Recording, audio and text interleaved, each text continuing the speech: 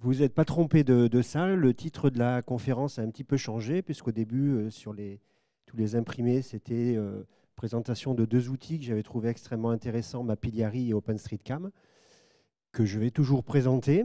Mais on m'a offert un slot un peu plus grand que prévu et une salle aussi un peu plus grande que prévu. Et, euh, donc, j'ai dû allonger ma, présentation. Et donc, pour allonger la présentation, j'ai aussi changé un petit peu le, le sujet, donc, qui s'appelle maintenant de la carte imprimée à, la navigation euh, vivante, euh, de, la navigation routière vivante. je vous expliquerai un petit peu tous ces, tous ces contextes, tous ces contextes, un petit peu l'historique du projet. Voilà, donc moi je suis Bruno Coudouin, j'ai une longue, longue, longue contribution et dans, le, dans le monde du logiciel libre, à travers euh, surtout le logiciel éducatif, j'ai compris, que j'ai commencé en 2000 et que je ne maintiens plus, mais qui est toujours, euh, toujours vivant. Et actuellement, je travaille dans la société continentale à Toulouse, dans le domaine du véhicule connecté. Et à ce titre, un petit peu, je me suis intéressé aux données qu'il y avait dans, OpenStreetMap et la, qualité des données, et au modèle de données qui, était, qui, qui a dans OpenStreetMap, pour voir si certains usages pouvaient être intéressants dans le cadre de mon travail. Voilà un petit peu le contexte. Vous connaissez tous euh, OpenStreetMap déjà? Vous contribuez euh, Je sais pas, il y en a qui contribuent? Oui Tout le monde contribue à OpenStreetMap Pas tout le monde Donc très bien, vous allez découvrir, l'idée c'est que je vais vous présenter un petit peu l'histoire du, projet. Je vais vous présenter les, concepts sous-jacents un petit peu euh, de, géomatique, pas spécialement liés à OpenStreetMap, mais liés à la cartographie dans son ensemble. Euh, l'orthophotographie, quelles sont les données qui nous manquent dans OpenStreetMap pour arriver à, faire, à faire de la navigation, dans euh, la navigation routière dans OpenStreetMap? Et après, j'introduirai les deux outils OpenStreetMap et Apeyari, qui sont des briques essentielles qui vont nous manquer pour aller à passer cette étape supplémentaire pour améliorer la qualité de cet outil magnifique. Et je présenterai comment on fait pour rentrer des données euh, utiles à la navigation routière dans OpenStreetMap. Voilà, voilà l'idée. Donc l'histoire du projet, c'est euh, à la base c'est des fous quoi. C'est un projet de fous comme, euh, comme il y en a eu à l'époque de ces pionniers qui ont lancé qui ont lancé Linux en disant euh, bah, je vais faire un système d'exploitation, plus personne dirait ça aujourd'hui, euh, ou je vais faire une encyclopédie euh, libre et puis tout le monde viendra et on pourra contribuer. C'est quand même des projets qui sont, qui sont assez, assez, assez, extraordinaires. Et, dans la même veine, je dirais vraiment au même niveau de, au même niveau de folie, des gens qui se sont dit aujourd'hui les cartes, il y a des cartes partout, mais elles sont enfermées derrière des sociétés qui les, qui les maintiennent ou éventuellement des États. Et puis les données, elles ne sont pas libres, on ne peut pas les modifier, on ne peut pas les améliorer, on ne peut pas en faire ce qu'on veut. Ben, nous, on va faire une carte du monde. Et qu'est-ce qu'on a aujourd'hui? Ben, On a euh, des, GPS portables. Eh ben, on va aller avec nos vélos, nos voitures, on va tracer les routes, on va enregistrer, puis on va commencer à rentrer ça tous ensemble. Et on aura la carte du monde. Ils ont démarré en 2004. Et aujourd'hui, on en est là. Aujourd'hui, on a un projet. Si vous regardez un peu OpenStreetMap, une carte OpenStreetMap, vous verrez que ça n'a rien rien, de, à envier euh, de ce qu'il y a dans les concurrents. Certes, il y a des erreurs, mais il y a des erreurs aussi dans les cartes concurrentes. Il n'y a pas de, cartes qui soient parfaites. Et euh, c'est tout à fait, tout à fait de très très bonne qualité et utilisable dans beaucoup, beaucoup d'usages. Et ça reste de la donnée libre. Donc la donnée libre aussi, ça veut dire qu'il y a une, licence, la licence ODBL, qui a été, euh, qui a été choisi pour protéger la base de données. Donc ça ressemble un petit peu à de la GPL pour ceux qui font du logiciel libre. C'est-à-dire qu'on a le droit d'utiliser les données, on a le droit de les modifier, on a le droit de les redistribuer. On doit, euh, en contrepartie, respecter certaines obligations, notamment euh, de, publicité. On doit dire qu'on a utilisé OpenStreetMap et on doit redistribuer les modifications à l'identique, c'est-à-dire en redonnant aux autres personnes les mêmes droits qu'on a reçus à l'origine. Voilà le, principe. Les objectifs à la base, c'était de faire une carte, euh, une carte qu'on imprime ou une carte qu'on peut regarder sur un ordinateur. Et, OpenStreetMap le fait très très bien. Et aujourd'hui, on arrive sur des nouveaux, euh, des nouveaux paradigmes, des, nouveaux, des, nouvelles, ambitions où on veut faire de la navigation routière. Donc on veut faire euh, on veut avoir le système dans sa voiture qui nous dit ben, à gauche, tournez à droite, et tout ça en live. Donc il faut avoir des, informations fraîches et des informations de nature un petit peu différente de ce qu'on utilise lorsqu'on regarde une carte imprimée. Il faut vraiment que le logiciel, donc que les données à l'intérieur, portent des informations sémantiques qui sont un petit peu différentes. Donc c'est ça qui va nous intéresser autour de cette, de cette, de cette présentation. Donc deux concepts un petit peu qu'on retrouve dans, dans, OpenStreetMap, et donc là qui est vraiment générique à toute la cartographie. Donc la, notion de, topographie, là, c'est l'étude de la, de, la, forme et des caractéristiques des surfaces de la Terre. Donc on va s'intéresser à avoir une représentation la plus précise des, des, données. Ici, à la position GPS, euh, latitude, longitude, altitude, il y, a, euh, il, y a, il, y a, une route, il y a un point qui passe, qui passe sur cette route. C'est ça qu'on va, qu'on va, qu'on va marquer. Mais parfois, ce n'est pas toujours, quand on fait de la navigation, ce qui nous intéresse, c'est plutôt d'avoir des segments, d'avoir des, informations, de savoir que les données, les routes se croisent à des endroits. Et là, on n'est plus dans la, topographie, on est plutôt dans la topologie. Donc à droite, il y a une carte du métro d'Athènes et on voit que la carte est extrêmement simplifiée. Donc pour un humain, c'est très facile à lire, mais ça ne correspond pas réellement. Euh, les, les, lignes, elles sont probablement pas aussi droites que ça, bien que je ne sois jamais allé à Athènes. Ça se trouve, c'est juste, mais ça m'étonnerait. Euh, donc on n'a plus les notions d'échelle, mais on a une bonne représentation d'un point de vue, euh, topologique. Euh, c'est réellement vrai. On peut aller d'une station à l'autre. C'est bien la bien le bon chemin qu'on va prendre. Et un humain ou un ordinateur peut très bien se déplacer là-dessus, sans savoir où la vraie latitude, longitude de chaque station est. Donc là, un petit concept d'OpenStreetMap pour ceux qui ne connaissent pas. Donc le modèle de données d'OpenStreetMap, la façon dont sont stockées les données dans la base de données sont sont extrêmement simples. Ils ont fait un choix de, un choix de favoriser la contribution. C'est un petit peu ce qu'a fait aussi euh, ce qu'on retrouve dans, Wikipédia. C'est que si on veut que les gens contribuent, il faut que la, barrière à, l'entrée, la barrière à, la contribution soit le plus simple possible. Si on vous dit pour contribuer, il faut euh, apprendre plein et plein de concepts, ben les gens ne font pas l'effort et, on aura peu de contributeurs. Donc ils ont cherché à avoir un, modèle de données qui soit à la fois, à la fois simple et, euh, qui, mais quand même puissant qui permettent, de faire pas mal de choses et faire ce qu'on a, besoin de faire. Donc il y a trois grands concepts, c'est des nœuds, des nœuds qui contiennent latitude, longitude, altitude, et une liste de tags. Des tags, c'est des clés valeurs, et ces clés valeurs sont libres. Et on peut avoir une multitude de tags pour chaque, chaque nœud. Un deuxième concept, c'est des way. Ces way, c'est une liste ordonnée de nœuds et en plus une liste de, de, tags qu'on va pouvoir dire ben, cette rue, par exemple, c'est, elle passe par ces différents nœuds et c'est la rue euh, des Amandiers, par exemple. Euh, et un concept qui est un peu plus poussé, qui, est un peu moins, moins utilisé, mais qui est très très puissant, c'est des relations. On va pouvoir dire, ben, dans cette rue-là, tous les numéros de la rue qui sont à, positionnés à telle latitude, longitude sont, sont reliés à cette rue-là. On ne va pas marquer la rue à chaque euh, à chaque adresse on fait un lien vers la rue. Donc ça peut, être utilisé pour, euh, pour une zone géographique, euh, pour la, métropole de Toulouse, il peut y avoir une zone et on va savoir que toutes les rues qui sont dans cette métropole ben, sont reliées à une relation qui s'appelle métropole. Voilà les concepts.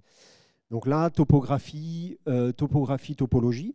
Ici, on a euh, à gauche la, Free Software Road qui croise la Open Source Road et on voit qu'il n'y a, pas de, nœuds qui ont été rajoutés. Donc ici, si on a un logiciel de navigation, d'un point de vue du rendu, quelqu'un qui voit la carte, euh, il la trouve parfaite, ça, ça, marche, c'est vraiment ça. Mais il manque l'information qu'on peut effectivement passer d'une rue à l'autre. Et donc dans la zone de droite, qu'est-ce qu'il faut marquer dans OpenStreetMap il y a bien un nœud qui permet de dire on peut passer d'une rue à l'autre. La topologie versus euh, topographie. Ici, on a des feux rouges. Donc là, les feux rouges, on pourrait se dire, ben, les feux rouges, on va les mettre physiquement à l'endroit où ils sont. Et les feux rouges, ils sont avant, le carrefour. Or, euh, si on fait ça, on a perdu la sémantique du fait que euh, ces, deux, ces deux routes se croisent réellement et c'est vraiment à cette intersection qu'il y a un feu rouge. Et donc, la bonne façon de faire dans OpenStreetMap, c'est de marquer à cet endroit, à cette intersection, il y a un feu rouge. Mais on ne sait plus où ils sont physiquement. Donc si la voiture, on voulait la faire se déplacer et trouver arrête-toi au pied du feu rouge, ben on a perdu cette information sémantique, on ne l'a pas dans OpenStreetMap. Euh, un concept intéressant aussi, c'est quand on veut mapper une, rue, on va, on va mettre euh, non pas la rue avec les trottoirs, avec toute la forme de la rue telle qu'elle est, c'est juste un segment, donc une way avec des nœuds. Et le segment, l'objectif, c'est qu'il passe au milieu de la rue. Voilà les choses, voilà les, concepts, euh, les concepts sous-jacents. Donc, euh, qu'est-ce qui va nous intéresser pour faire de la, navigation routière? Quels sont les concepts les plus intéressants? Donc on va s'intéresser à, alors déjà pour qui on va le faire? On va le faire pour les, véhicules, mais aussi pour les, pour les piétons, pour les cyclistes, très important, les cyclistes, on n'en parle jamais assez. Les transports publics, euh, on va être intéressé par savoir, OK, il y a un segment de, de, rue, mais on veut savoir qu'il puisse aller euh, il y a des rues qui sont sans unique. Bon, ça, c'est un concept extrêmement important. Même si pour les vélos, on s'en fout un peu, mais bon. Les, euh, les types de, roues, de, rues, est-ce que c'est des, des, grandes rues, des résidentielles, des autoroutes? Est-ce que l'accès, est-ce qu'on peut y accéder à vélo? Toujours très important les vélos, vous le savez. Euh, les, les, panneaux de circulation, les feux stop, les céder le passage, euh, les, euh, zones de, les zébras pour traverser. Est-ce qu'on peut, est qu'on peut passer à cet endroit-là? Est-ce qu'il y a un feu qui permet aux piétons de, de, de traverser? Les vitesses limites, donc ça très important pour les, euh, plutôt là pour les voitures, pour les vélos, ça moins intéressant. Les restrictions pour tourner, donc comment on fait pour dire, ben, y a effectivement les deux rues sont bien connectées, il y a bien un nœud qui interconnecte les deux rues, mais il y a un panneau qui nous dit ben non, vous n'avez pas le droit de tourner à gauche à cet endroit-là, il faut aller prendre le rond-point plus loin. Donc ça, ces informations-là, le logiciel, euh, les données, par défaut, on ne peut pas savoir si on a le droit de tourner à gauche ou pas. C'est vraiment la, réglementation routière, les, responsables des infrastructures qui l'ont mis à cet endroit ou pas mis. Et il faut vraiment euh, que quelqu'un euh, l'indique dans le logiciel. Les zones de parking, où est-ce qu'on peut se garer? Sur la rue, hors de la rue euh, le nombre de voies et les destinations de chaque voie. Est-ce qu'on a le droit de changer d'une voie à une autre? Les numéros de sortie, les zones de repos, la surface de la route. Est-ce que c'est du bitume? Est-ce que c'est du, du gravier? Le gravier, c'est chiant pour les vélos. Hein. Très important, il faut le marquer, le gravier. Donc, navigation. Alors, comment, comment on a commencé un petit peu dans OpenStreetMap Donc, le, les, premiers, les pionniers qui sont partis avec leur GPS, ils n'avaient pas non plus de, cartes satellites ou de, sociétés qui ont mis des cartes satellites à disposition pour aider la communauté OpenStreetMap.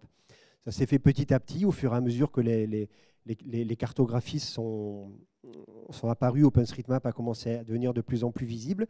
Il y a certaines personnes qui ont, ou certaines entités qui ont dit ben, Moi, je vais vous fournir des, euh, ce qu'on appelle des orthophotos. Donc, c'est des photographies aériennes qui sont euh, qui ont été rectifiés de telle sorte que ça corresponde bien, ça mappe bien le terrain sur lequel, euh, sur lequel on est. Donc si vous prenez une photo aérienne, il va falloir un petit peu la déformer pour que ça épouse le terrain, chaque, chaque appareil photo, chaque photographie, et pas juste d'un point de vue, d'un point de vue géométrique.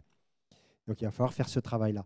Donc Toulouse Métropole, par exemple, si vous allez sur le portail Open Data de Toulouse Métropole, vous, avez des photos de la, métropole de Toulouse de très très haute définition qui sont utilisables directement dans OpenStreetMap, qui sont intégrés et accessibles directement depuis les outils d'OpenStreetMap. Donc c'est assez agréable et assez facile de travailler sur Toulouse et d'améliorer, d'améliorer Toulouse.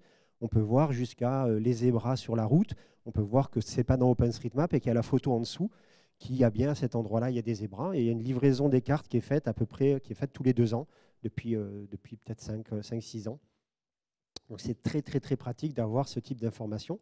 Donc le monde entier n'est pas couvert avec euh, la même définition, même si à peu près dans le monde entier, il y a toujours des photos, mais elles ne sont pas forcément toujours avec la même définition. Les photographies aériennes, c'est pratique, mais ça permet d'avoir l'emplacement précis de la route, de bien se mettre au milieu de la route pour faire son chemin, de marquer le nombre de lignes. Si on a des, vues précises, on peut savoir à cet endroit-là, il y a bien trois lignes de circulation. On voit qu'il y a un interplein central, on peut bien séparer les choses. On peut voir les zones de parking, on peut voir les connexions, savoir qu'on peut aller d'une route à l'autre. On peut voir les tunnels, les ponts. On peut arriver même voir à Toulouse euh, les zébras, les, euh, les dodanes. Euh, enfin, on peut avoir vraiment des détails qui sont assez intéressants. Néanmoins, on ne peut pas tout faire quand même. Alors, il y a la, connaissance, la connaissance humaine, donc c'est intéressant de savoir, ben, je suis passé à cet endroit-là et j'ai vu telle et telle information. Donc après, quand on rentre à la maison, on peut aller sur OpenStreetMap et rentrer la donnée de manière détaillée.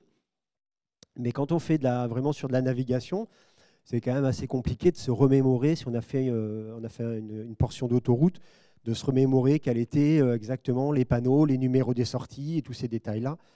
C'est assez compliqué. Donc on voit qu'il y a beaucoup, beaucoup d'informations qui sont vraiment euh, importantes à, rentrer dans OpenStreetMap pour, pour passer maintenant cette nouvelle frontière et rentrer dans le monde de la navigation routière. Et, euh, et on va essayer de voir un peu quels sont les outils qui, pourraient nous permettre d'aller euh, d'aller un petit peu plus loin. Et les outils, ben, on les connaît puisque c'est, ben, vous avez vu, vous avez tous croisé Google, Google Street View. On peut directement avec Google dans la carto, on peut déplacer un petit bonhomme et puis voir les photos de rue. Et Google passe dans toutes les rues du monde entier euh, pour, euh, pour euh, fournir ces, ces, photos de rue. C'est génial, on pourrait l'utiliser. Ah, mais non, on ne peut pas. on ne peut pas, Google, et ils ne veulent pas. Ils veulent bien qu'on l'utilise pour un usage personnel, mais ils ne veulent pas que vous puissiez utiliser ces, ces, informations pour enrichir une cartographie concurrente de la leur. Puisqu'ils ont quand même fait beaucoup d'efforts à payer des gens pour aller prendre, prendre ces cartes et ils ne sont pas forcément toujours très partageurs. Donc, ben, ce n'est pas grave, hein, on va faire comme nos pionniers de, y a, de 2004, et ben, on va le faire nous-mêmes, hein, puisque Google ne veut pas nous les donner. Donc, on va collecter nous-mêmes les photos de rue et on, on, y va. Alors, comment on fait ça? C'est quand même un peu compliqué, parce que là, il faut aussi une infrastructure, il faut des serveurs, ça va être des gigaoctets de, de données, de photos qui vont être collectées. Alors la magie, c'est qu'aujourd'hui, quand même, on a des téléphones portables de, très très bonne facture, euh, de, plus en plus, euh, de plus en plus puissants, avec des gigaoctets de, stockage euh, sur, sur les téléphones, avec des capacités photographiques de très très, bonne, de très très bonne qualité. Donc pourquoi pas demander aux gens, bah, utilisez maintenant votre appareil photo, l'appareil photo de votre téléphone, pour rentrer toutes ces données-là dans, dans un serveur qui va collecter donc la trace, la position de chaque photo et les photos.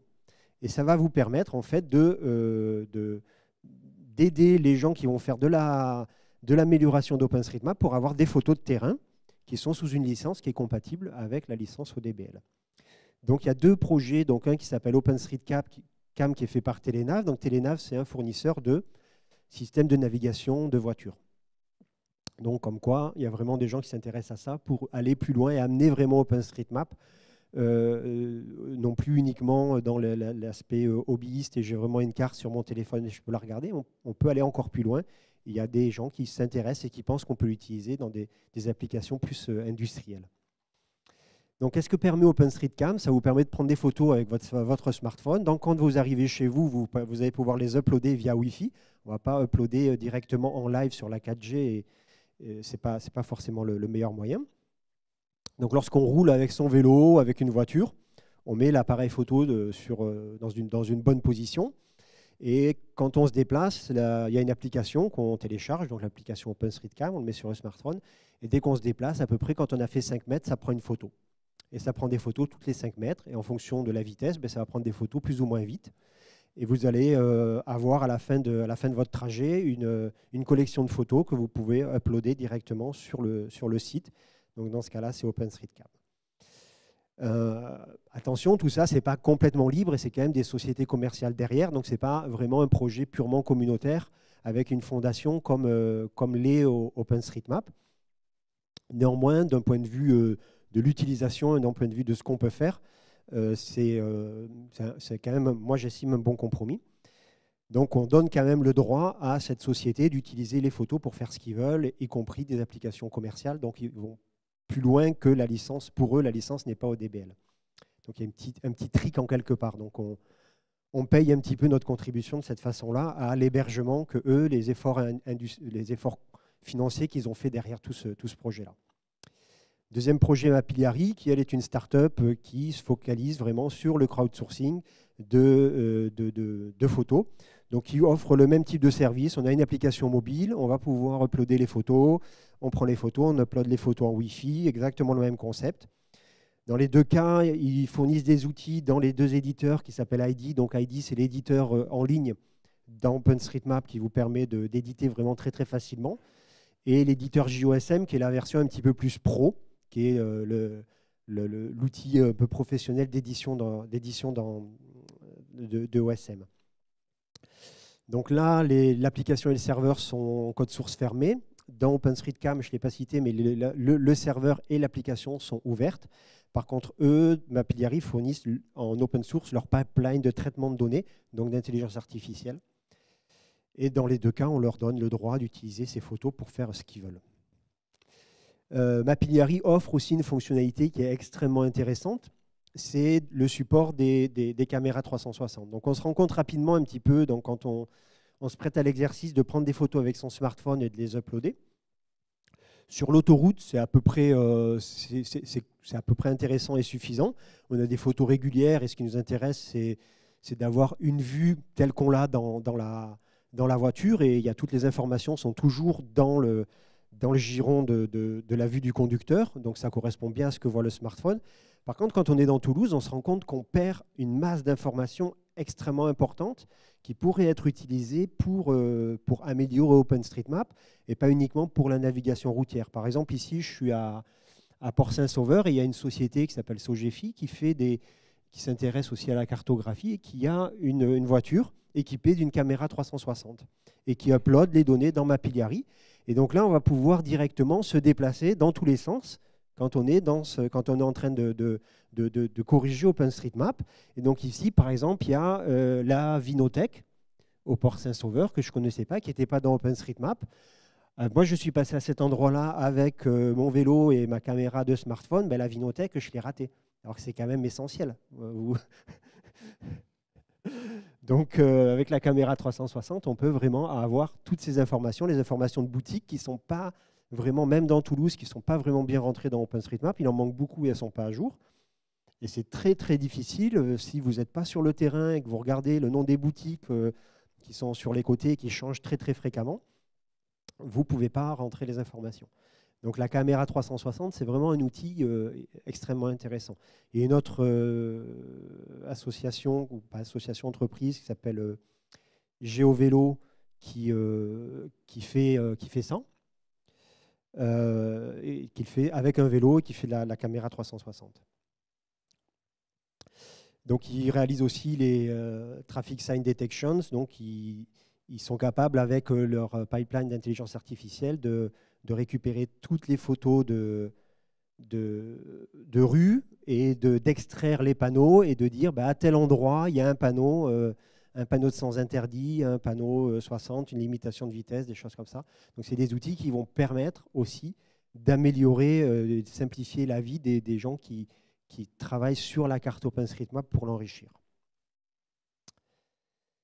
Là, il y a, des, pipelines d'intelligence artificielle qui vont faire de la segmentation et qui vont être capables de, de dire ici c'est du ciel, ici c'est des arbres, ici c'est de la route, ici c'est des voitures, ici c'est des panneaux.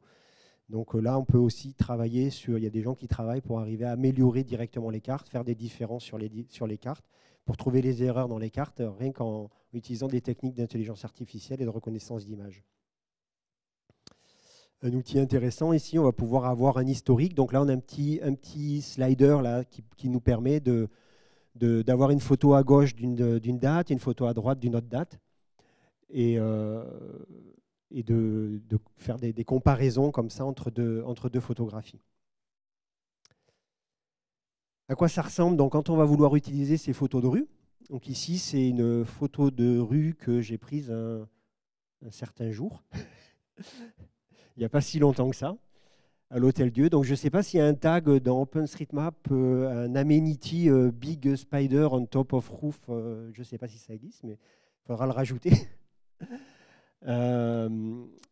Donc on voit qu'à droite, donc, on a l'éditeur l'éditeur ID.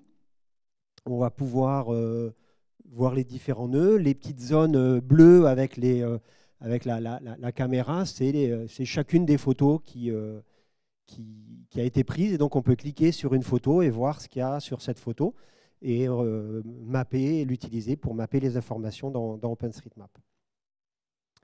Ça, c'est la même chose, donc cette fois dans l'éditeur euh, euh, JOSM. Donc à gauche, on a une, photo, une photo satellite avec les, segments. On retrouve euh, les, les, photographies qui ont été prises avec les zones, les zones bleues. Et à droite, ici, on peut voir les photos de, les, photos de rue. Donc là, c'est au sud, de, au sud de Toulouse. Et on va pouvoir rentrer les, les, segments, les segments de route en disant ben, ici j'ai euh, euh, la destination, en fait c'est une copie euh, de ce qui a marqué sur la destination de chaque segment. Donc on verra après ce que ça donne dans une application et comment c'est utilisé, parce que c'est intéressant de rentrer des informations, mais parfois ce serait bien de voir euh, que ça serve à quelque chose. La couverture d'OpenStreetMap, donc c'est euh, ben, où est-ce qu'on en est? Donc il y a des gens effectivement qui collaborent. Donc euh, vous voyez où j'habite à peu près là? Et où je travaille. Si vous, cherchez un petit peu, vous arrivez à. Donc il n'y a pas eu beaucoup, beaucoup de, contributions dans OpenStreetCam. C'est pas très, Mapillary est plus utilisé. Donc là, j'ai. Euh, ce qui est assez intéressant de, ces, outils, c'est que ça. Moi, par exemple, j'habite, euh, j'habite à Blagnac, je travaille à Basso-Cambo, et donc euh, j'ai l'habitude de faire le trajet le plus rapide et le plus court. Et, euh, mais OpenStreetCam, ben, au bout d'un moment, quand on a mappé, on ne va pas mapper tous les jours la même route. Quoi. On ne va pas reprendre les photos de la route. Ça n'a pas, pas grand intérêt d'avoir euh, tous les jours la, la, photo de la route. Par contre, ben, on se rend compte qu'il y a plein de rues autour de notre trajet quotidien qu'on n'a pas, qu'on n'a pas rentré dans la carte. Et donc, euh, petit à petit, quand on regarde ces, cartes, ça s'enrichit par les trajets, les trajets des, quelques contributeurs qui l'utilisent mais il n'y a pas une, approche systématique de dire ben moi je veux rentrer tout le quartier. Ce n'est pas juste une photo du quartier. Et si on attend longtemps et que personne ne le fait, ben on a des vues qui sont partielles. Et après, quand on les a, on a des photos qui sont euh, datées euh, de manière très très longue. On va avoir des photos qui ont 5 ans, des photos qui, ont, qui sont récentes, et on ne sait plus si l'information euh, elle est toujours juste, est-ce que, c'est, que l'information est obsolète ou pas. Donc là, mon idée, c'était de me dire, maintenant, je vais faire un petit peu les trajets autour du trajet que je fais habituellement. Donc, je vais faire des, détours pour, euh, pour le, capter le plus d'informations et les rentrer dans OpenStreetCam. Et de manière amusante, je me suis pris au jeu et ça m'a fait découvrir des endroits où j'étais jamais passé. Je ne savais pas qu'au bout du lotissement, ben, en fait, on pouvait passer à vélo et rejoindre l'autre bout, du lotissement. J'avais vu qu'il y avait une passerelle, par exemple, au-dessus du périphérique euh, par... Euh, au niveau un peu entre la Sépierre et, et le Mirail, par exemple, ici, il y a une passerelle qui est dans une, dans une cage, une passerelle, euh, il y a le train qui, qui, peut passer, on peut aussi passer à vélo. Et ça fait 20 ans que je suis à Toulouse et j'ai toujours vu cette passerelle. Je me suis dit, un jour, j'aimerais passer dessus. ça a l'air vraiment intéressant. j'ai réussi à trouver comment on va cette passerelle et à passer sur cette passerelle et à pouvoir la rentrer dans OpenStreetMap.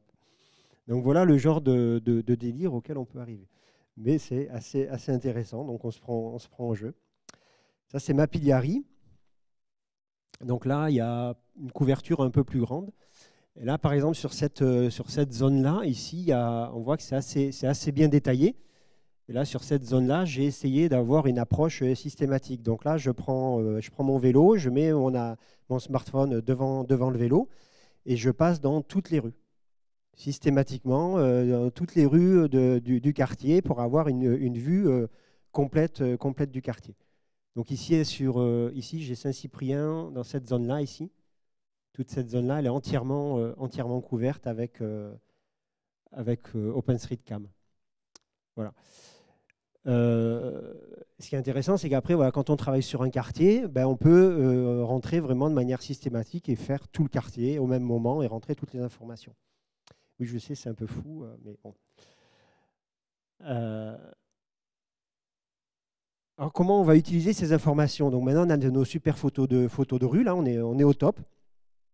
On a toutes les données, on est prêt à travailler, on a l'éditeur ID, JOSM, euh, tous les outils à disposition. Et qu'est-ce qu'il faut faire? Comment on rentre les informations dans OpenStreetMap? Donc, je vous avais expliqué que le, concept, c'est un concept de, de, tag dans OpenStreetMap. Et ces tags, ils ne sont pas euh, toujours formellement bien définis. C'est des clés valeurs. Et une clé valeur, vous pouvez mettre n'importe quoi. Vous pouvez ouvrir OpenStreetMap et marquer clé euh, Toto, valeur égale Titi. Vous faites enregistrer et vous dites, ouh, c'est quand même bizarre. Euh, tu es quand même un peu le premier à utiliser un tag qui s'appelle Toto. Quoi. Mais vous dites, non, non, c'est bon, c'est ce qu'il faut. Et il vous dit, OK, bon, si tu sais ce que tu fais, vas-y. Donc, il y a quand même des règles. Et donc, les règles, il y a un wiki avec une communauté autour qui essaye de standardiser, de dire ben, quand on veut mapper des informations de, ici, par exemple, de, de expliquer comment on peut changer de ligne sur, sur une voie, ben voilà comment on va s'y prendre. Parce que sinon, chacun va marquer euh, euh, ça de, sa façon euh, qui lui est personnelle et, aucun logiciel ne sera capable d'exploiter ces données. Donc, il faut quand même un petit peu normaliser la façon de rentrer les données. Donc ici, par exemple, on a une, une, grande route à trois voies et qui est une motorway, donc c'est une autoroute, il y a trois voies, la vitesse limite c'est 90, donc là, là ça c'est les, les, clés, les, clés, les clés, la valeur, la clé la valeur, la référence c'est la 620, et on voit que dans la partie 1, on va rentrer un tag qui s'appelle change lane, qui est égal à yes, pipe, yes, pipe, yes. Donc ça veut dire, en fait, le, premier yes à gauche, ça veut dire c'est la voie de gauche dans le sens de la circulation ou dans le sens du segment. Donc chaque segment est ordonné et a un, sens de circulation sur le segment. Donc là, ça veut dire, ben oui, on peut changer euh, dans cette zone-là, on peut effectivement changer. Quand on est là, on peut changer, là, on peut changer, là, on peut changer. Quand on est dans le segment 2, ben non, quand on est en haut à gauche, là, on ne peut pas changer parce qu'il y a une ligne blanche.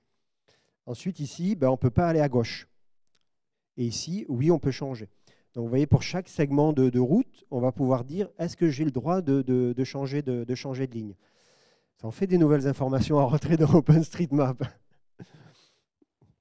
Mais c'est intéressant pour un logiciel de navigation, pour un humain qui regarde la carte, encore une fois, rien à faire. Pour un logiciel de navigation, il va pouvoir vous dire, là c'est le moment de changer, il va vous pouvoir vous dire de, changer de, ligne avant d'arriver dans la zone où on ne peut plus changer de ligne. Voilà. Alors là, c'est les instructions pour tourner. Donc cette fois, on ne veut pas juste changer de ligne, on veut vraiment euh, changer de segment. Et donc là, on va pouvoir dire que quand on est euh, dans cette zone, euh, la zone du bas, ben, il y a trois lignes de circulation. dans turn lanes dont il y a non, la première ligne à gauche, il n'y a pas d'instruction, on ne nous dit pas spécialement ce qu'on doit faire. Dans la deuxième, il n'y a pas d'instruction. Et dans la troisième, on nous dit on peut aller tout droit, donc through, et point virgule, donc il y a plusieurs instructions. On peut faire un slide right, donc on peut euh, doucement tourner à droite. Donc c'est une, porte de sortie dans l'autoroute, quoi, une, une, bretelle de sortie de l'autoroute qui nous dit maintenant tout doucement vous pouvez, vous pouvez glisser, aller à droite. Donc voilà, pour chacun de ces segments-là, il y a des règles qui disent exactement ce qu'on peut faire. Et là, une voiture ou un, système de navigation va pouvoir dire ben, mettez-vous sur la ligne de droite, euh, euh, vous allez bientôt devoir changer, à droite, euh, changer, de, changer de ligne. Qu'est-ce qu'on va pouvoir rentrer comme information? Donc là, on a deux segments. Donc on est sur une autoroute à trois voies. Euh, il y a une voie sur la gauche qui va, euh, qui va, qui va sortir. On a trois voies de circulation, ce n'est pas forcément une autoroute d'ailleurs.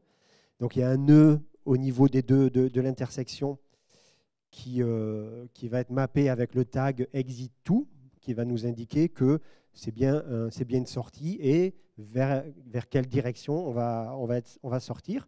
Sur ce segment-là, on va pouvoir donner la destination, qui reprend la même chose. Et sur ce segment-là, on va pouvoir donner la destination pour que quelqu'un qui, qui veut, si on veut, le logiciel veut indiquer, vous indiquer ben, suivre la destination euh, fois Montpellier-Albi, ben, on va pouvoir réafficher dans, euh, dans la voiture ou dans le, sur le smartphone, on va pouvoir afficher le panneau tel qu'il est vu, euh, qu'il est vu sur, sur la route. Quoi. Donc toutes ces informations apparaissent aussi directement au conducteur sur son logiciel on va pouvoir rentrer les restrictions pour, euh, pour tourner. Donc les restrictions pour tourner, c'est ben, il y a deux, deux, routes euh, qui se croisent, mais je n'ai pas le droit de tourner à gauche parce que sinon ça fait des bouchons et que ce n'est pas, pas pratique. Donc là, euh, on a un carrefour qui est un petit peu compliqué là, et on va pouvoir éditer. Donc comment on fait ça? Je, je, verrai, un petit peu dans le slide suivant, mais là on va pouvoir voir que quand je suis sur ce segment-là, ben, ici, je n'ai pas le droit de tourner à gauche. Là, je peux aller tout droit, là, je peux aller à droite, et quand je suis à ce segment ici, je n'ai pas le droit de tourner à gauche non plus. Donc ça veut dire qu'il faut probablement que j'aille au rond-point suivant pour faire demi-tour et pour pouvoir réellement aller sur, euh, sur cette zone-là. Donc toutes ces informations-là, ça va vous aider si vous faites, euh, même si vous faites juste un, vous utilisez OpenStreetMap pour faire un calcul d'itinéraire et dire je vais aller de tel endroit à tel endroit, ben, s'il n'a pas ces informations-là, il risque de vous dire ben, allez euh, à tel endroit et tournez à gauche. Lui, il ne sait pas qu'on ne peut pas tourner à gauche. Personne ne lui a jamais dit. Information très très utile. Comment on rentre ces informations? Donc là, on va le rentrer ça avec une relation. Donc on va pouvoir dire, euh, il y a une relation de type euh, restriction. la restriction, c'est uniquement tourner à droite. Donc là, ici, je suis sur le, sur le nœud A. Ici, je n'ai pas le droit d'aller vers la gauche. Je dois continuer vers, vers le nœud B. Donc ici, sur le nœud A, il va avoir le rôle from. Le nœud B, il va avoir le rôle to. Le, le nœud N ici, il va avoir le rôle via. Et tout ça, c'est relié à notre relation qui est du type restriction, tournée uniquement euh, à droite. Donc c'est comme ça qu'on va pouvoir euh, donner cette information de, restriction. Donc là, c'est un peu compliqué pour faire les, relations dans OpenStreetMap sont toujours assez, assez complexes à faire. Mais il y a des outils dans l'éditeur ID ou dans GOSM qui vous permettent d'avoir de, la, la, vue du carrefour et de pouvoir juste cliquer en disant de là j'ai le droit d'aller à là, de là j'ai le droit d'aller à là, de là j'ai le droit d'aller à là, et la relation va se construire toute seule. Vous n'allez pas éditer vous-même les relations et rentrer tout ça. Vous allez le faire de manière beaucoup plus conviviale. Néanmoins, il faut, faut, le, faut le faire, c'est un peu de travail. Les vélos, je vous ai parlé de l'importance des vélos, je ne me rappelle plus. Donc les vélos, on va pouvoir euh, rentrer pas mal d'informations sur, euh, sur les vélos. Ben, il y a plein, plein de configurations sur euh, les, les, voies de circulation pour les vélos. Donc elles peuvent être, il peut y en avoir une à droite, une à gauche, où il y a une seule voie mais qui est dans les deux sens, ou elle est dans un seul sens. En gros, on ne sait jamais où faire passer les vélos et c'est un peu, un peu compliqué. Donc là, il y a plusieurs types de tags. Donc là, j'ai repris un petit peu ce qu'il y a dans le dans l'éditeur, dans, dans le wiki d'OpenStreetMap, qui donne les différentes informations et les différentes façons de, taguer. Donc on va avoir un tag euh, cycleway 2.left euh, égale lane plus cycleway 2.right lane. Donc là, c'est un peu compliqué à, savoir. Donc il faut toujours se, ramener un petit peu au, wiki pour savoir exactement dans cette configuration-là euh, quel est le, bon tag à, rentrer. Bon, après, quand on fait souvent sur un sujet donné, on commence à maîtriser les différents tags et ça devient un peu naturel. Il n'y a pas forcément besoin de se, ramener au wiki, mais au début, quand on travaille sur une, nouvelle caractéristique, euh, c'est un peu délicat. Les parking lanes, donc là, c'est euh, là on va pouvoir mapper dans OpenStreetMap euh, combien il y a de places de combien il y a de places euh, dans une rue. Donc ici, par exemple, on va voir que dans cette rue-là, il y a des places à droite. Et ici, bon, si je ne peux pas cliquer, mais si je clique dessus, on va pouvoir dire il y a trois, trois places sur la rue, il y a trois places pour se garer à droite dans cette, dans cette rue-là. Et on va pouvoir rentrer. Euh, donc là, le nombre de places, c'est euh, parking lane left capacity égale 6. Donc il y a 6 places, par exemple, à gauche dans je ne sais pas quelle rue. On va se garer euh, en parallèle. Donc ici, ça peut être parallèle, diagonale ou perpendiculaire. Et la façon dont on est garé, c'est on street. Donc ça peut être sur les trottoirs. Il y a des, parfois, on peut se garer moitié sur le trottoir, moitié sur la rue. Donc ce type d'information sur la façon dont on, dont on, a le droit de garer sa voiture, on va pouvoir l'exprimer dans, OpenStreetMap. Donc ça, c'est une partie. Et après, il y a une deuxième partie qui est euh, extrêmement compliquée aussi à rentrer, c'est euh, ben, combien ça coûte? Parce que ça coûte cher de se garer. Et, euh, toutes, les, conditions. Donc ici, ben là, j'ai marqué que par défaut, ben, c'est gratuit. Parce qu'en fait, par la nuit, c'est gratuit. Donc on peut se garer effectivement la nuit. Par défaut, c'est gratuit. Mais sinon, il y a des conditions pour se garer, il faut prendre un ticket. Euh, ça coûte 1,50€ euh, euh, de l'heure. On peut rester deux heures. la zone dans laquelle on peut rester, la zone de temps dans laquelle on, peut on doit payer, c'est de 9h, donc du lundi au samedi de 9h à 20h. PH, c'est Public Holiday, donc off. Donc là, c'est gratuit pour les Public Holiday. Et c'est gratuit du 1er au 15 août. Donc voilà, il faut arriver à rentrer toutes ces informations. Ces informations, ben, on les a par le site de, de, la, mairie ou par des informations euh, qui sont publiques, il fallait lire sur les, les, les, eurodateurs toutes ces informations-là. Donc on ne le voit pas même avec les photos de rue. Donc ça, si on veut faire ça dans une ville qu'on ne connaît pas, c'est très très difficile d'arriver à extraire ce type d'informations. Une manière assez intéressante, là, c'est qu'une partie pour Toulouse, puisqu'en fait, je ne sais pas si vous avez remarqué, mais euh, pour ceux qui se garent en ville, si vous restez deux heures, ça vous coûte 3 euh, euros. Vous savez combien ça coûte si vous vous garez deux heures et demie? Ça coûte 30 euros. Donc pour se garer en ville, euh, la demi-heure supplémentaire, c'est à peu près 1 euro de la minute. Donc pour décourager un petit peu les gens de venir en ville en voiture et de se garer sur les rues, dans les rues en, voiture. Sinon, vous pouvez venir à vélo, c'est gratuit. à quoi ça sert tout ça et qu'est-ce que ça, hum, qu'est-ce que ça donne? Quel est le rendu qu'on va avoir euh, euh, pour, un, pour un utilisateur? Donc là, on a rentré des données, on s'est un peu embêté. Euh, vous avez vu un petit peu toutes les données qu'il faut rentrer, c'est un peu long. Et quel est le, quel est le rendu? Donc là, j'ai utilisé le, le logiciel OSMand, donc OSMand qui est un des, des applications un petit peu phares dans, dans le domaine OpenStreetMap sur Android pour OSM Android qui permet de, à la fois de faire de la navigation. Vous pouvez l'utiliser si vous faites du trekking, du vélo. Euh, vous pouvez même contribuer directement à partir de, à partir de OSM en rentrant votre compte OpenStreetMap. Vous pouvez mettre des notes quand vous passez dans la rue en disant bah, à tel endroit, j'ai vu ça qui est faux, j'ai vu ça qui est faux. Et permettre à d'autres contributeurs d'OpenStreetMap de venir et de compléter les notes ou de les rentrer comme il faut dans OpenStreetMap. Vous pouvez garder la trace GPX, faire des enregistrements. c'est très, très c'est très très très puissant, c'est bien maintenu. Vous pouvez télécharger les cartes offline pour travailler, même euh, les utiliser même si vous n'êtes pas euh, connecté, si vous allez dans un pays à l'étranger. Euh, voilà, très très très puissant. Après, c'est payant, il y a, un, modèle commercial, même si l'application est en grande partie open source, je ne sais pas tout, tout, ce qui est. On la trouve aussi dans F-Droid. Qu'est-ce qu'on voit ici? Donc là, je suis en mode navigation. Donc là, je suis en train de me déplacer sur le, périphérique. Et je vois avec ce petit, euh, petite information que il m'indique que il y a trois voies de circulation. Donc il y a une voie qui fait euh, la voie de droite en gris qui fait un slide right, qui doucement, il y a une bretelle de sortie. Mais il me dit, faut pas la prendre. Toi, tu n'as qu'à rester sur, le, sur les chemins qui sont en jaune. Donc tu as deux voies de circulation qui sont utilisables pour toi et tu continues tout droit euh, dans ces flèches jaunes. Euh, qu'est-ce qu'il m'indique? Il m'indique que dans 100 mètres, il y a un tunnel. Donc il sait qu'il y a un tunnel. Là, il m'indique qu'il y a une pompe. Euh, il m'indique que la vitesse limite, c'est 90 km/h sur ce segment. Et que moi, je roule à 70 km/h. Quand je dépasse les 90 km/h, il va me dire, ben là, attention, vous dépassez de... Il doit y avoir une, petite marge, mais vous dépassez la limite. Donc ça affiche en grand une information comme quoi on dépasse, euh, on dépasse la limite ce qui vous évite d'arriver à des extrémités de vandaliser des radars. Avec un logiciel comme ça, plus besoin de vandaliser des radars, euh, vous n'avez plus de PV, et il suffit de lire ce qui a marqué. en général, ce n'est pas super compliqué. Euh, et vous pouvez enregistrer pour avoir une trace GPX, et vous savez que vous arriverez dans 16, 16 minutes.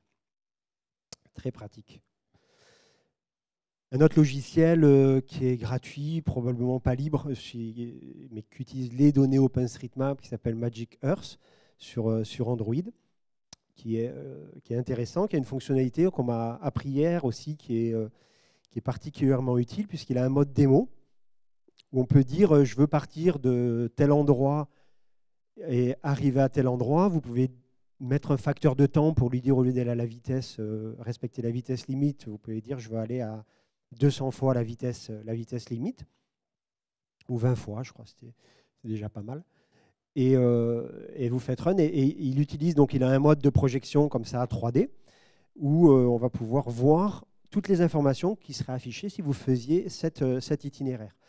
Donc ça, c'est une des difficultés qu'on a quand on travaille sur ce sujet-là, c'est qu'on rend des données, on rend des données, on rend des données, mais on ne sait jamais si c'est bon, on ne peut pas tester facilement. C'est que tant que vous ne roulez pas et que vous vous n'êtes pas en face et que vous regardez effectivement, là, j'ai bien rentré l'information que là, sur cette ligne-là, je peux tourner à gauche et je ne peux pas tourner à droite et qu'il y a bien le panneau, il y a bien tout ça. Il y a une, vague d'informations qui est trop, trop, trop, trop forte, puis euh, vous ne pouvez pas le, vérifier. Quoi. Donc parfois, c'est intéressant de pouvoir faire ça. Et donc de voir un petit peu ce que ça donne, ce que voit un peu votre travail, même si vous n'avez pas envie d'aller à Montauban, à Muret pour, euh, pour tester. Donc voilà, pareil, donc ici on a les informations, donc on voit que les informations de destination s'affichent comme s'il y avait un panneau, euh, comme si vous aviez le panneau de, circulation qui s'affiche devant vous. Donc voilà euh, le, concept. Voilà, je vous remercie. J'espère que vous avez appris plein de choses avec, euh, dans, cette, dans cette présentation. Et si vous avez des questions, je suis prêt à, à vous écouter, partager avec vous sur, sur cet outil et les capacités de navigation routière. Merci.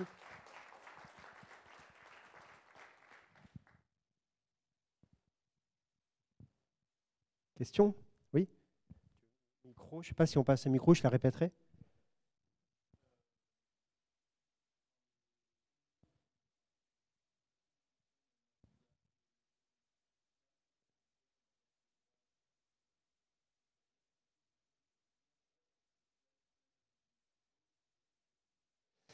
Alors, ce qui peut se passer, c'est. Oui, alors la question, c'est euh, le risque. On, donne, on, contribue à Mapillary et OpenStreetCam. C'est des sociétés commerciales derrière. Elles peuvent euh, décider de changer d'avis sur, euh, sur le fait que, bah oui, ok, c'est bien sous la licence ODBL, mais le service, on le ferme. Et tout ce qu'on a contribué, c'est perdu. c'est effectivement un gros, un gros, gros risque. Non pas qu'il changerait les conditions d'utilisation, je ne pense pas qu'il déciderait de le changer, mais par contre que c'est des sociétés commerciales qui vont changer de, point de vue, qui vont être rachetées, qui vont dire finalement tout ça, ça ne nous sert plus à rien, on n'a plus envie de le faire. Et donc on arrête le service euh, complètement. Et peut-être ces données, elles ont été vendues et, on, arrête de faire ça. C'est effectivement un, gros, gros risque.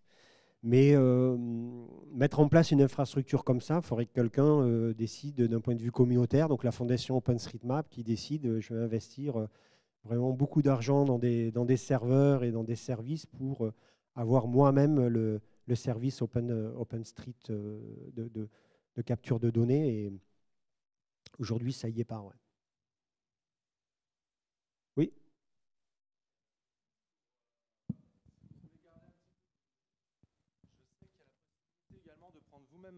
Vous avez la possibilité de prendre vous-même vos photos, de garder le droit sur vos photos et de choisir la licence de votre photo, à condition qu'elle reste à peu près libre. Euh, de la publier sur Flickr, donc euh, sur votre compte Flickr, donc vous gardez la main sur ces données et d'utiliser après l'outil d'Adrien Pavie euh, qui va vous afficher en fait toutes les, photos sur, un, sur le front OpenStreetMap et de pouvoir la réutiliser. Flickr, oui.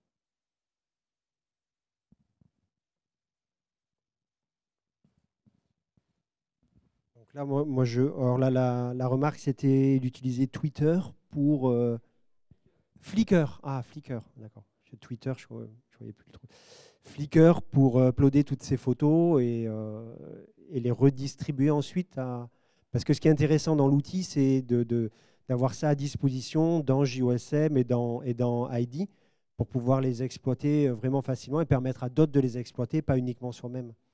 Donc, alors, ce qui, se passe dans vos photos, vous gardez les droits sur vos photos, même si vous les donnez à Mapillary ou OpenStreetCam, vous, vous les donnez, donc vous pouvez les retélécharger. Ça les upload, vous pouvez les retélécharger, vous pourriez faire quelque chose avec.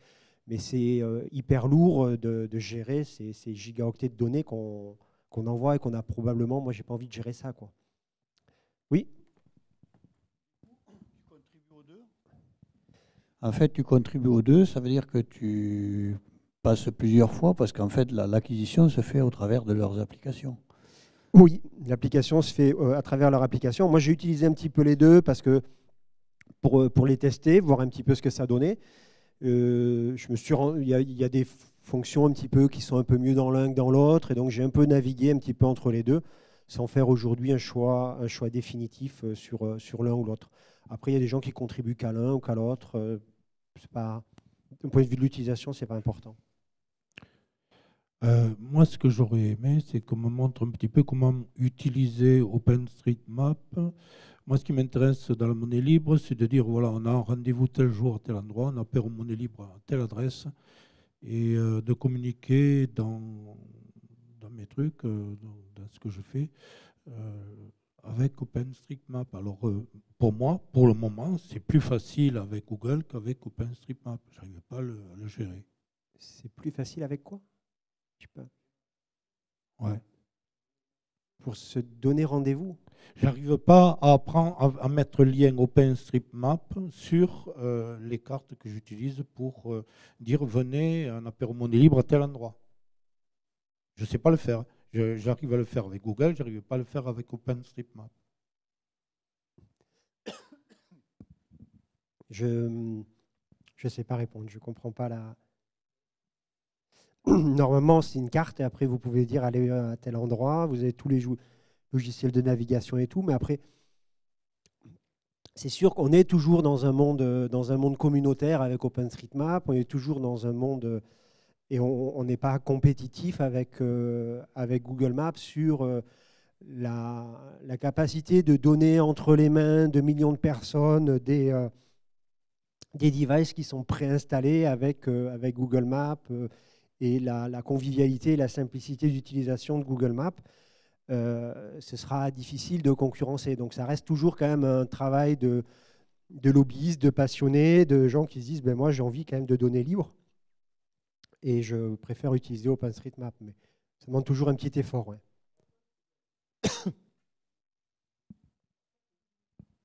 Hmm? Le problème, c'est pas ça. C'est je dis, je sais pas. Si vous voulez, quand je veux utiliser OpenStreetMap, pour dire voilà, je clique, je fais un copier-coller du, lien pour le mettre sur mes, rendez-vous.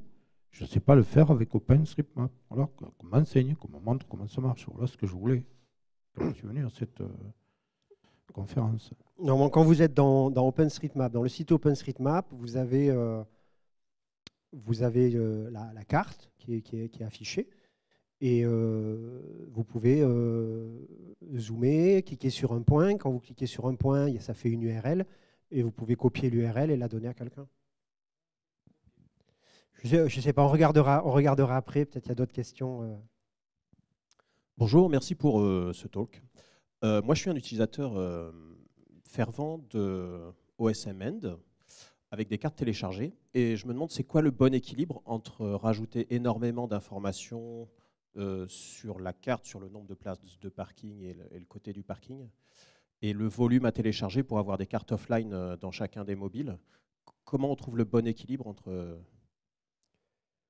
parce que rajouter toutes les places de parking et leur orientation, ça fait des cartes qui deviennent euh, immensément grosses à télécharger? Alors, les, les logiciels qui font, qui font des, des, téléchargements comme ça, souvent, ce qu'ils font, c'est qu'ils extraient, ils font des. Par exemple, OSM, lui, il, euh, il crée des, snapshots, il livre des, nouveaux snapshots tous les mois de, de, la carte. Donc il est capable de, d'extraire, par exemple, les logiciels de navigation, euh, ils ne s'intéressent pas au bâtiment, ou ils ne s'intéressent pas à plein d'informations. Ils peuvent choisir et filtrer les tags qui sont utilisés par leur propre logiciel. Donc il y a plein d'informations. Vous avez aussi les, euh, des gens qui rentrent dans OpenStreetMap, toute l'infrastructure électrique du pays. Donc avec euh, les pylônes, là il y a une ligne de haute tension à 30 000 volts, tout ça. Tout ça, vous l'avez dans OpenStreetMap. Probablement que au effectivement, peut-être qu'il le rentre ou qu'il ne le rentre pas, je ne sais pas. Euh, si... Il pourrait filtrer ces informations-là en disant nous, ça ne nous intéresse pas. Euh, j'avais une question en voyant la, densité de données qu'on commence à avoir euh, justement avec, avec les, photos.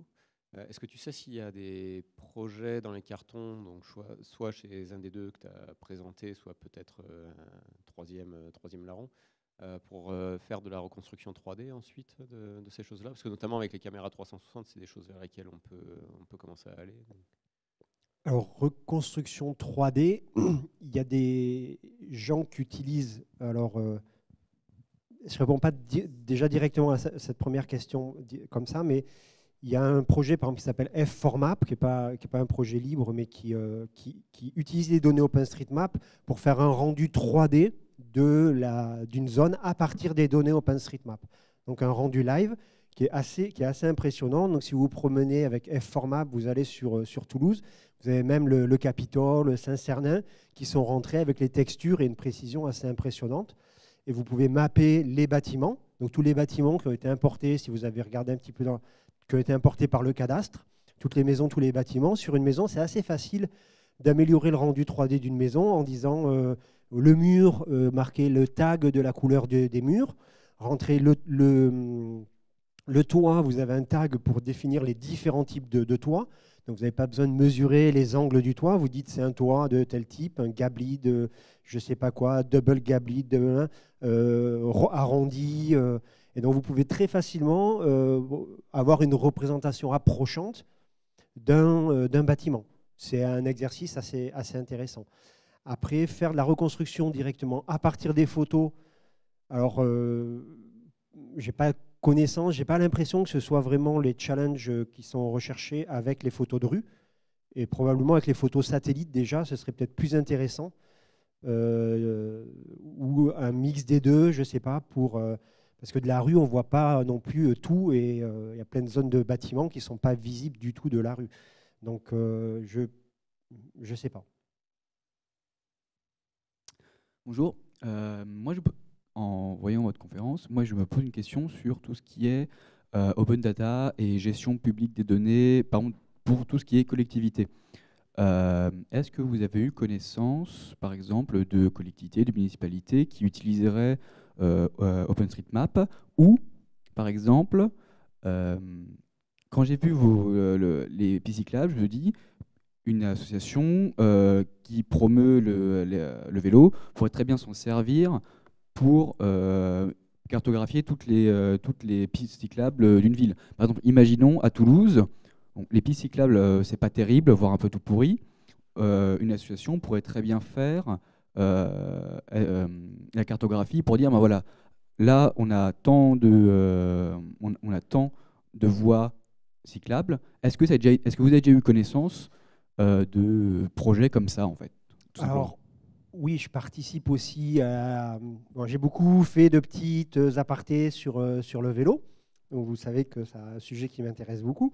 Je participe aussi à l'association Deux Pieds de Roue, l'association toulousaine qui fait la promotion du, déplacement mode doux dans, euh, dans la métropole toulousaine. Euh, dans cette association, il y a un projet qui s'appelle Vélops, Vélo Observation, qui est basé sur une cartographie OpenStreetMap qui permet donc à des personnes de faire des observations pour dire à tel endroit, sur telle, euh, telle, telle zone, il y a il y a du euh, sur, euh, sur la piste cyclable, il faut aller l'enlever. Il, euh, il faudrait rajouter une piste ici, il y a quelque chose qui est manquant. Il y a, on peut faire ces observations et Toulouse Métropole participe un peu, pas assez, mais un petit peu, à regarder les, informations qui sont rentrées dans Velops pour aller sur le terrain et réaliser les, les correctifs et dialoguer avec l'association ça marche un peu. Et l'association de pieds de roue travaille aussi sur un projet, sur euh, différents projets pour euh, un interlocuteur important de, Toulouse Métropole de tisser aux collectivités sur tout ce qui est amélioration euh, cyclable. Et oui, on se base sur les cartes OpenStreetMap pour travailler. C'est un, un, terrain malléable extrêmement intéressant pour, pour travailler sur, dessus. Oui. Donc on le fait, oui je, vais prendre une dernière question et puis on, arrêtera, sauf. Euh, euh, du coup, j'avais une euh, question. Oui. donc là, il y a les données de navigation, les panneaux, tout ça, mais après, il y a une autre chose qui est importante pour la navigation, ça va être tout ce qui est embouteillage et tout ça, pour savoir quel chemin prendre à quel moment. Est-ce qu'il y a des projets dans ce sens ou pour l'instant, tout ce qui est plus données temps réel ou qui peuvent être euh, faits par rapport à de l'apprentissage sur des données historiques Est-ce qu'il y a des projets autour de ça ou pas du tout? Alors là, c'est vrai qu'OpenStreetMap s'intéresse à cartographier. On rentre dans OpenStreetMap que des données qui sont un peu persistantes. On ne rentre pas euh, combien la, fin d'un bouchon, on ne va pas le rentrer dans OpenStreetMap. Il n'y a pas de tag pour ça et ça n'a pas de sens. Euh, donc là, ça nécessiterait de travailler avec d'autres sociétés ou d'autres entités qui pourraient se créer autour de ça. Donc il y a des sociétés qui distribuent déjà ce type d'informations, il y a des sociétés qui les ont, qui les maintiennent, qui ont des flottes de, véhicules qui leur permettent de remonter ces informations et qui ont l'infrastructure pour les distribuer.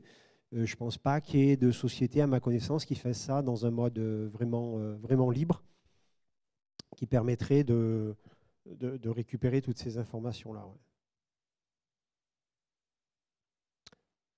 Voilà. Arrête. Je vous remercie.